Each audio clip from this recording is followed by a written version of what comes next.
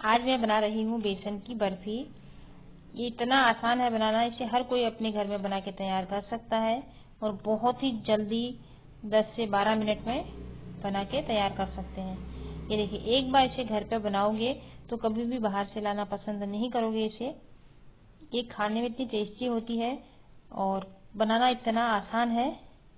अब त्योहारों का समय शुरू होने वाला है। त्योहारों के टाइम पर बाज़ार की मिठाइयों में काफ़ी ज़्यादा मिलावट होती है। और वो बहुत महँगी भी मिलती है। तो हम घर में इसे बहुत ही आसान तरीके से और बहुत ही सस्ते में बना के तैयार करेंगे। इतनी सॉफ्ट बनी है, देखिए। तो चलिए बनाना शुरू करते हैं।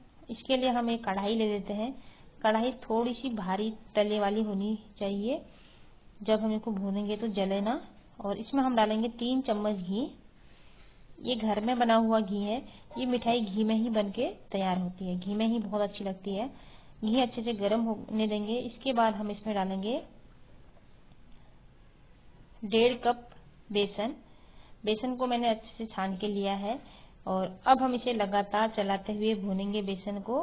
गैस का फ्लेम बिल्कुल लो रखेंगे। लो फ्लेम में ही लगातार चलाते हुए इसे भूनेंगे।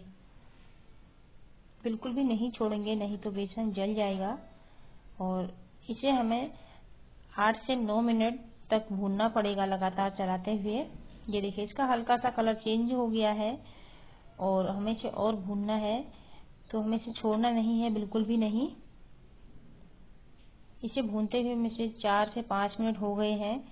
ये देखिए हल्का सा कलर चेंज हो गया है। हल्की सी इसके खुशबू भी आने लग गई है। तो अब इसमें हम फिर से एक चम्मच घी और डालेंगे। इस टाइम पे एक चम्मच घी डालने के बाद इसे फिर से हम अच्छे से चलाएँगे। बिल्कुल छोड़ेंगे नहीं नहीं तो बेसन नीचे से जल जाएगा। तो हम इसे लगातार चलाते रहेंगे।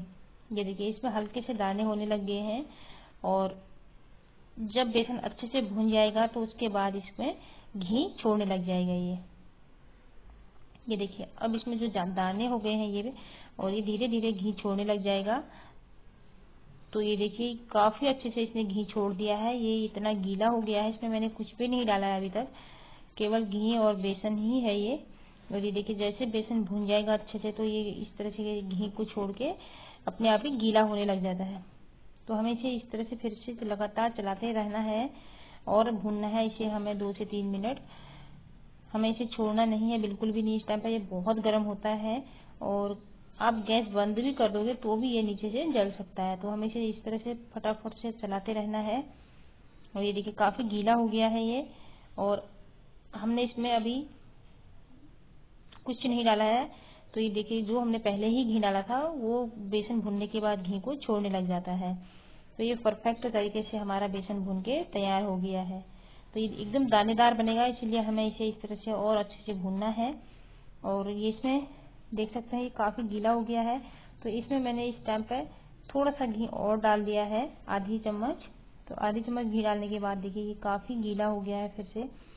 और अब हम इसमें डालेंगे एक कप किसी भी चीनी। चीनी को मैंने मिक्सर जार में डाल के पीस के पाउडर बना लिया है और इसको इसमें डालने के बाद अच्छे से मिक्स करेंगे। इसमें चीनी को पीस के ही डालें। और अगर आप इसमें साबुत चीनी डालेंगे तो वो अच्छे से गलेगी नहीं तो उसके दाने रह जाएँगे। और ये देखिए, चीनी डालने के बाद मैंने इसको अच्छे से मिक्स कर लिया है। चीनी डालने के बाद इसे हम दो से तीन मिनट फिर से भूनेंगे और चीनी इसमें जब घुल जाएगी तो ये और गीला हो जाएगा। और इसमें हमें ज़्यादा चीज़ों की ज़रूरत नहीं पड़ती है, बस तीन चीज़ों की ही ज़रूरत पड़ती है। और तीन चीज़ों से ही मिलके ये बहुत ही बढ़िया बर्फ़ी बन के तैयार हो जाती है। ये देखिए धीरे धीरे चीनी इसमें मेल्ट होने लगी है तो ये गीला होना शुरू करेगा।